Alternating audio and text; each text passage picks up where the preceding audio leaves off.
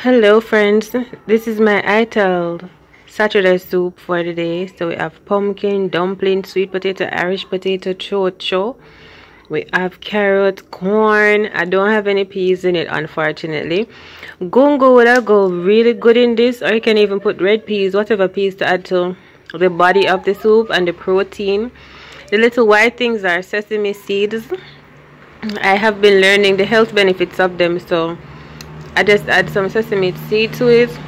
You know we have pimento garlic scotch bonnet pepper scallion and thyme in this as well. So I'm about to devour my ital Saturday pumpkin soup with corn. Much love